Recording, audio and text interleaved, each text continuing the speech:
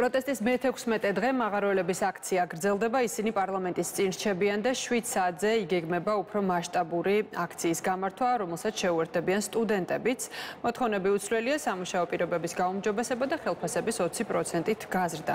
შეგრებილების ნაწილი კვლავ აგრძელებს შიმშილობას, ნაწილმა კი რამდენიმე დღის წინ პროტესტის უკიდურეს ფორმას მიმართა და მათ თვალები და პირი ამ დრომდე ამოგერილი აქვთ.